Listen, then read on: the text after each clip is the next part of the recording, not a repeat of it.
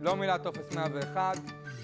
ברירת המחדל כאשר עובד לא ממלא טופס 101, שמחייבים אותו במס מרבי.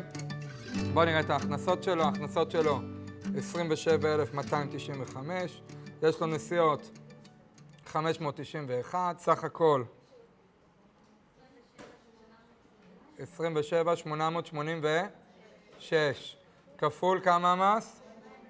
48 אחוז, 13,385 שקלים, זה המס לחיוב. כל העניין בשאלות האלה זה לשים לב לניואנסים, לא מילת טופס 101, אה, אה, יש לו משכורת חלקית וכולי. ברירות המחדל זה שאנחנו מחייבים במס מרבי.